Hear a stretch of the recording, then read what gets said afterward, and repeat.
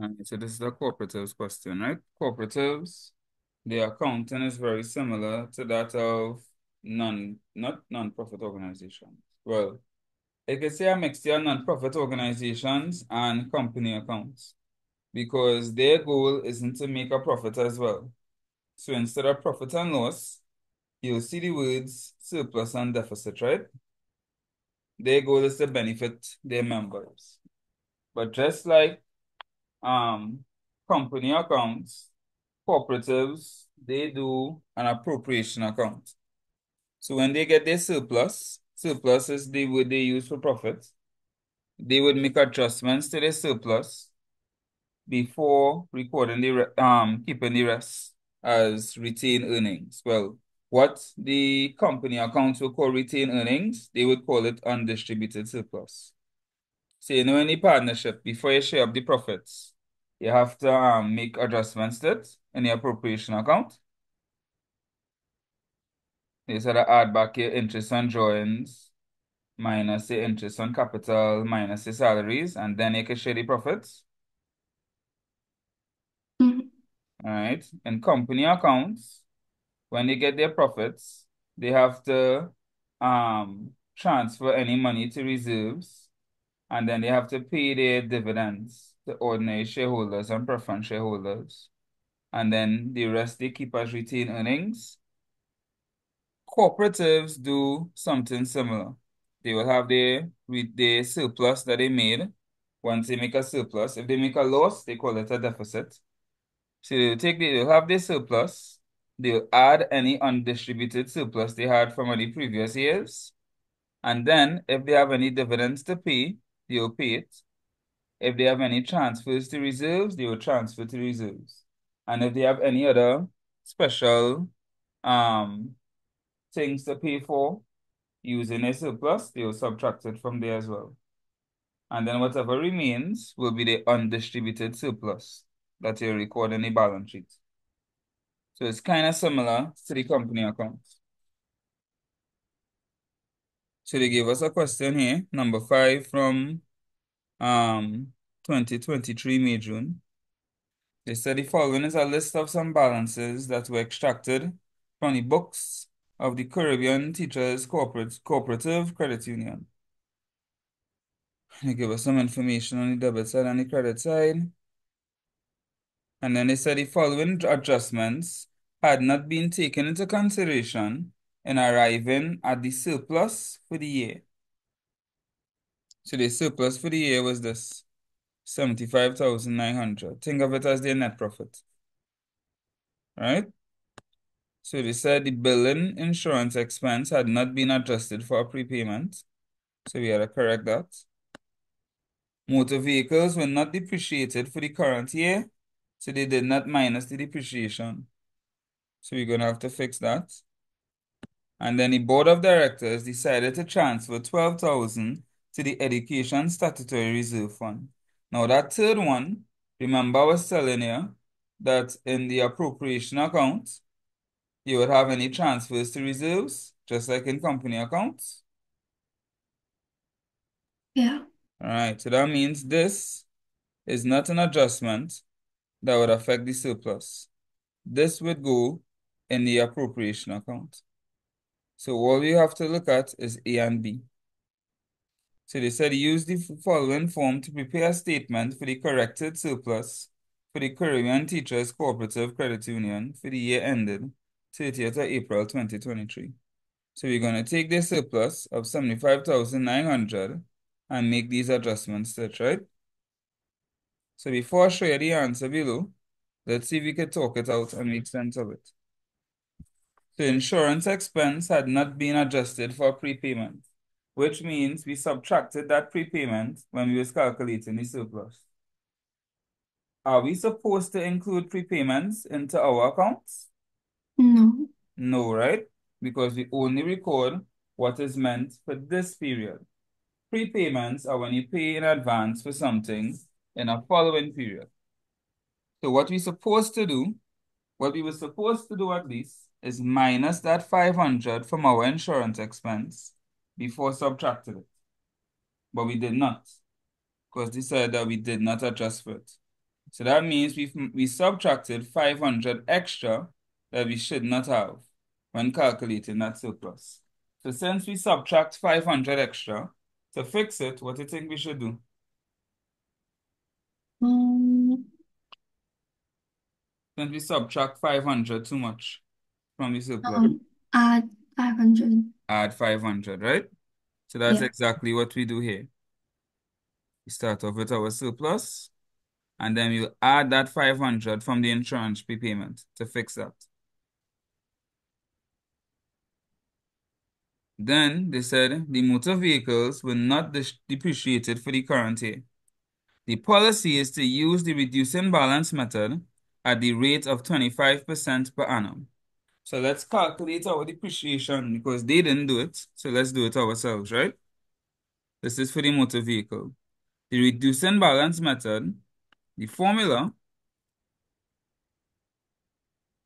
is the net book value of the assets multiplied by the depreciation rate. The net book value of the asset is the asset's value after subtracting all previous depreciation. So the motor vehicle at cost was 140,000. And then all previous depreciation will be found in the provision for depreciation account, which was 20,000. So the net book value is equal to 120,000. Now that I know that, I can calculate depreciation. Depreciation will be 120,000 multiplied by 25%. Because that's what they said, right? It was reducing balance method at a rate of 25%. 120,000 multiplied by 25% would give me 30,000. So we had 30,000 for depreciation that we did not subtract. So what should I do? Um, subtracted. Subtracted. So that's exactly what we do here, right? We subtract our depreciation and we get our corrected surplus for the year. 46,400. So that part is done. Four marks given. Now, all cooperatives won't have a question like this. Eh? They just decided to test their knowledge on depreciation and prepayments. This doesn't necessarily have to come. Next part now, they said, use the following form to prepare a statement showing the appropriation of undistributed surplus for the year ended 30th of April 2023. So they want to see our appropriation account now. The board of directors have decided to transfer $12,000 to the Education Statutory Reserve Fund. I'm going to tell you something about, let me tell you something about cooperatives. Cooperatives, their main goal is to is the welfare of its members. So they always spending on their members, right? So there are a lot of times when they don't have any um dividends to pay on shares. In this case, if you look through, you will see not one mention of dividends. Up to now, they ain't stating any notes. They have nothing about dividends in any of these in the description.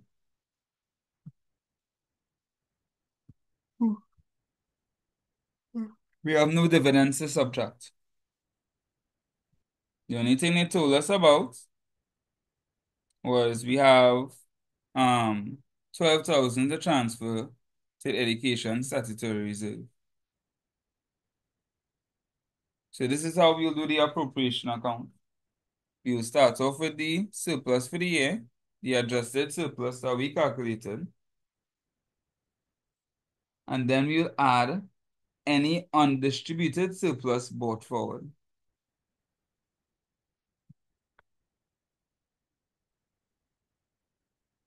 Hmm, 33,400.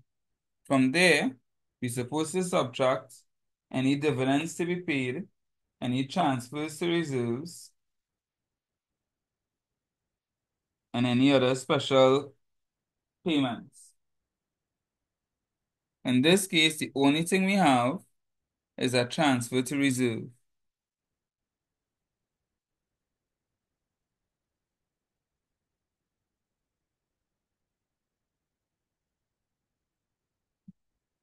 And so we subtract the transfer to reserve because that is something that we put in money aside for.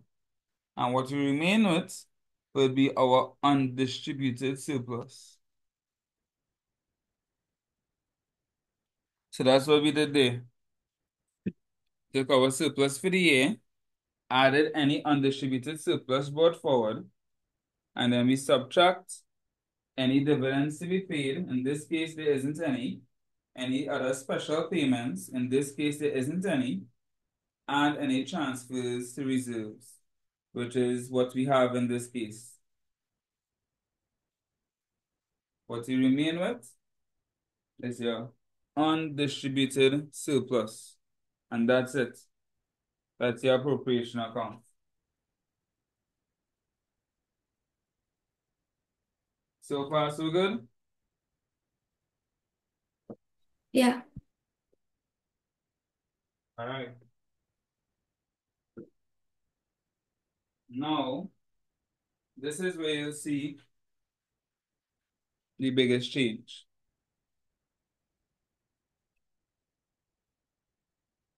The balance sheet, also known as the statement of financial position. So you'll see a few differences here, right? So let's go through the trial balance and let's go through which would be fixed assets, which would be current assets, current liabilities, and so forth, and why, right? Let's go through this quick. So the first one, membership fees due. So this is um, members who are owing membership fee to the company. So you know how accounts receivable, people that owe you money, there's a current asset? Yeah. Right. So membership fees due would also be considered a current asset, right? Because that is money that they owe the company. The second one, short-term loans to members. People would see loans and they would think liability one time, right? But you have to pay attention to a couple things. One, you'll notice all of these items are on the debit side, right? Liabilities would not be on the debit side. Two, this is loans to members, meaning we are lending money to them.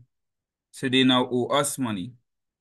So again, just like our account receivables, our current assets, people who owe you money, if we give loans to them and they owe us money in the short term, then that would also be a current asset. Now, if this was long-term loans, then it would be a, a, a non-current asset, right? Fixed um building at cost, we know there's a non-current asset already. Nothing different about that. Investments now. Investments is investments that the cooperative has in other organizations. This and for company accounts, whenever you see investments, this is considered an intangible non-current asset. So this is also a non-current asset, right? Whenever you see investments, the company has investments, you treat it as a non-current asset. But we know about motor vehicle at cost. We should know accruals on the credit side would mean it's a current liability. There's accrued expenses. Now let's look at members' deposits. You notice members' deposits is on the credit side? Yeah. All right, so already it's a liability. Some people will see deposits and automatically think asset, but this is members' deposits, meaning this money is not ours. This is the members' money. So they put deposits into our company, but it's their own. And they could take it back at any point in time. So although we have the money, we basically owe holding it for them, or we owe it to them whenever they want it back. So members' deposits will be considered a current liability. bank balance, you just look to see if it's on the debit side or the credit side. If it's on the debit side, you know it's a current asset. If it's on the credit side, that means it's a bank overdraft, which will be a liability. And then just like company accounts, this last bit here, your share capital, your reserves, and, your, and your undistributed surplus, which we calculated in the appropriation account, this would make up your capital section. Just like any company account. In company account, to be your um share capital, your retained earnings, and your total reserves. So it's just like that. So when you do any balance sheet, start off with the name of the company, statement of financial position as at. For the non-current assets, we calculate them like we normally do, subtract any depreciation, get our total non-current assets, make sure you include the investments, and then we'll work out working capital, just like in any other balance sheet, by listing out our current assets, which we identified already, right? Including this prepaid expense. Prepaid expenses are considered current assets, so we'd include that. We list out all our current assets, get the total, minus the current liabilities, get the total, subtract total current assets minus total current liabilities to get working capital, just like in any other balance sheet. We'd add our total non-current assets to our working capital to get our first balance. The second balance is supposed to be your long-term liabilities plus your capital. But this question had no long-term liabilities. So you just take your share capital, which is here, 557,000. You add your total reserves, just like in your company accounts. Your total reserves would be the education statutory reserve, which was 90,000, plus the 12,000 we transferred to that reserve. So in total, it's 102,000. So we'll add that, and then you'll add the undistributed surplus, which you would have gotten from your appropriation account. This is almost identical to company accounts. So if you know company accounts, this should be easy for you to get. You add these three, this makes up a capital figure. And as you can see, both figures are the same, so that means it balanced. So the format here for your, for your statement of financial position is the same as a sole trader and a partnership, etc. You just need to be able to identify what is current assets, what is non-current assets, what are current liabilities, and what are non-current liabilities. So once you could do what we did here, it should be okay. Remember, membership fee is due, and members owing you money, so that's current assets. Short-term loans to, to members, they owe you money again, they owe you, so that's a current asset. Investments, any investment the company has will be considered a fixed asset or non-current asset, and it's intangible. The next thing to remember is members' deposits. Just because hit it with deposit doesn't mean it's an asset. This is their money that we owe them, so we re-record it as a current liability. And all the other rules for assets are the same. The depreciation, your bank being an asset, cash being an asset, all those things are the same. Your capital section is very similar to your um, company accounts. You have your share capital, the capital you raise from your shares, are your total reserves, which would be the reserves in your trial balance plus any transfers to reserves, are the undistributed surplus that you would have gotten from your appropriation account. Once you remember those things, you should be good with cooperatives. And remember that surplus means profit, deficit means loss. All right? Yeah. All right, good.